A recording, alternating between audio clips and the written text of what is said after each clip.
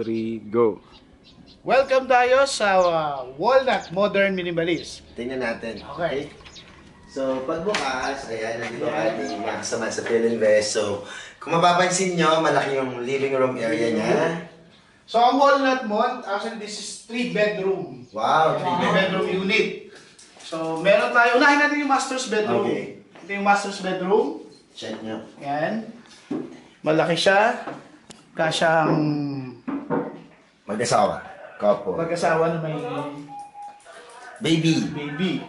So, bedroom 2, pwede sa kay kay baby Kay baby boy. ba- baby boy kasi naka-blue. Nandito naman si baby girl. Ayan. At andito ang kwarto ng baby girl.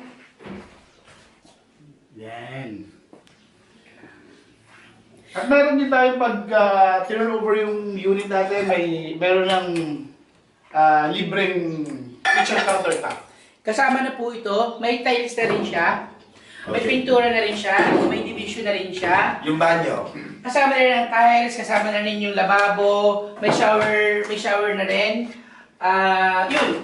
Kumbaga, gamit na lang ilalagay mo kapag ibinigay natin sa iyo yung unit. No? Yan. Tingnan natin sa likod kasi kadalasan, kapag malaki ang lote mo, 100 square meter ang lote mo, meron ka pang room for expansion. Maaaring karoon ka ng dirty kitchen, laundry area, gusto mo mag-garden-garden.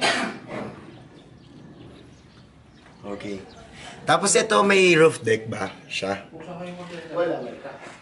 Um, wala siyang roof deck, pero pwede siya for expansion. Pwede mo siyang batungan, kasi buhos din siya. Okay. So pwede mo siya lagyan ng. Pwede mo siya lagyan Pwede mo siyang maging ano, aspira na yan. Yes. Oo.